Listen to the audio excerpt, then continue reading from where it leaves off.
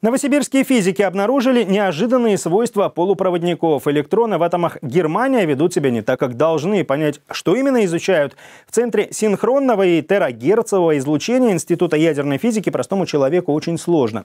Сотрудники Института ядерной физики собрали установку, на которой испытывают новосибирский лазер на свободных электронах.